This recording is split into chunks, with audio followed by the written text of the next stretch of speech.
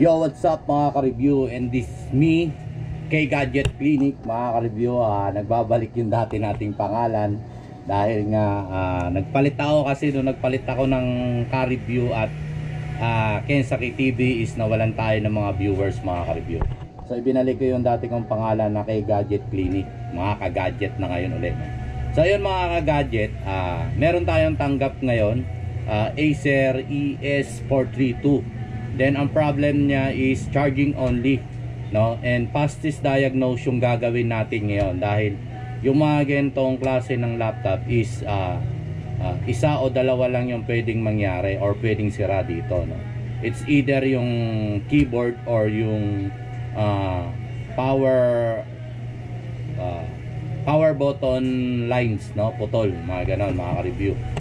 So, samahan nyo ako at panoorin nyo kung gaano natin kabilis idadiagnose itong laptop na ito, no, mga ka-review. So, tara!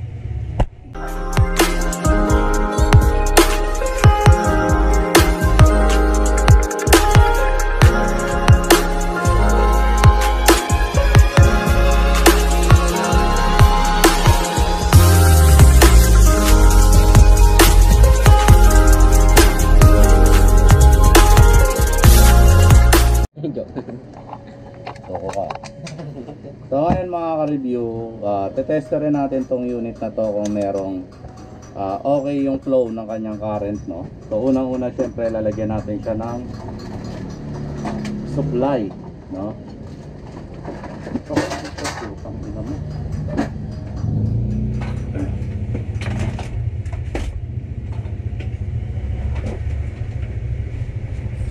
Lagyan natin ng supply. Gulo na naman ang aking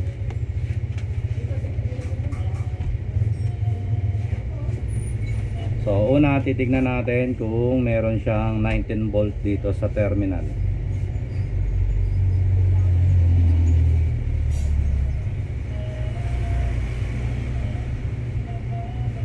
Wala. And from ground to yun, meron. Volts.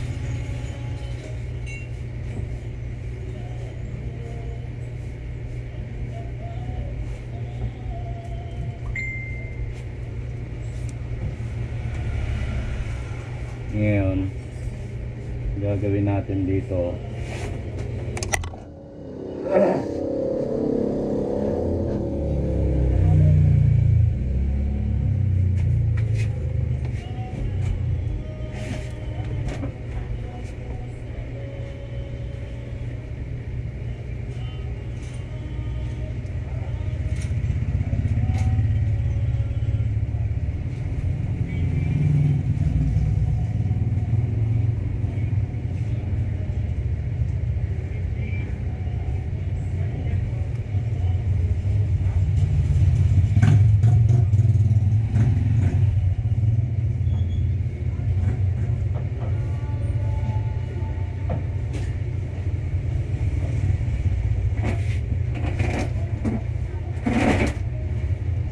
So ayan mga ka-review, present naman lahat.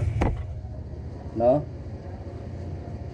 Then ang problem nito I think is yung keyboard. Keyboard problem mga ka-review. Kasi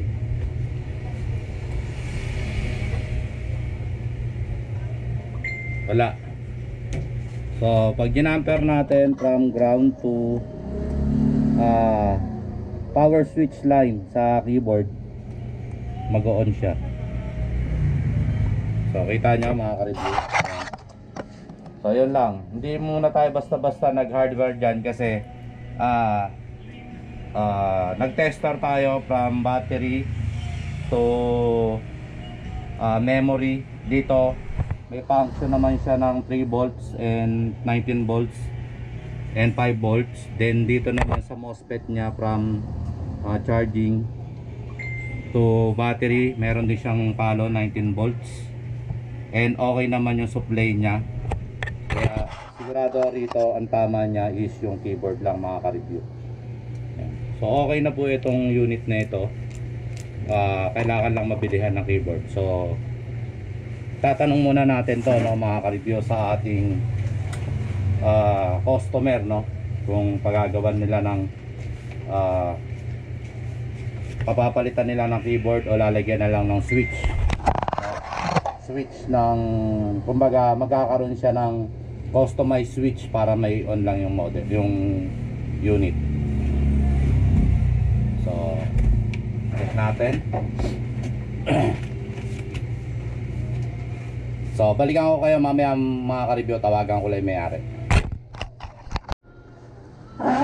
so yun mga ka-review ah, na-confirm natin na yun sabi nga niya kung kayang i-customize na lang no or ah, itatanong niya pa sa asawa niya kung palalagyan niya nga ito ng ah, keyboard, panibagong keyboard or customized na lang.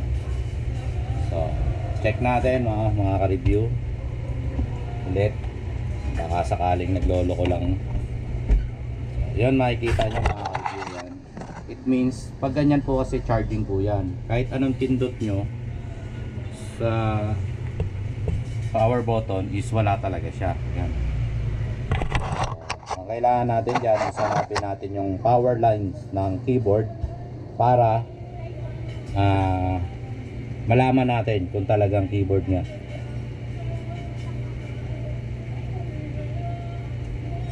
So, yan. Milaw. Pag nag-blue kasi yan, automatic nakabot na yan. So, yan, buhay na po yan. So, yun lang yung problema mga ka-review. So, hanggang dito na lang ang aking video about dito sa Acer. Ah, talsikan yung aking ano, alaway. Ah, Acer ES1432. No problem, charging only. Hindi na tayo nag-flash ng BIOS, no? Dahil yun lang naman talaga ang problema niya, yung keyboard. So hanggang dito na lang. Kaya kung kayo bago sa aking channel, napadaan sa aking video, huwag kalimutang mag-hit ng subscribe and click notification bell para lagi kayong updated. Peace!